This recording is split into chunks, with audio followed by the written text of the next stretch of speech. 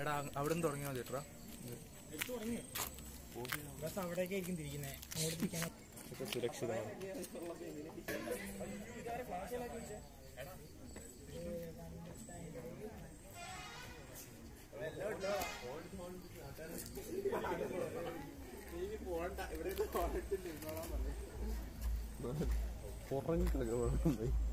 On time delivery.